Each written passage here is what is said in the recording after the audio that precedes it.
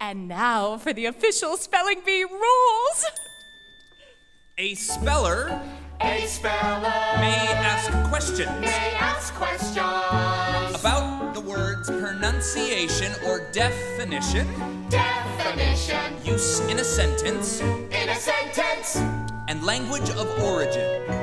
Language of origin. If you start to spell a word, you may start over. But the sequences of letters already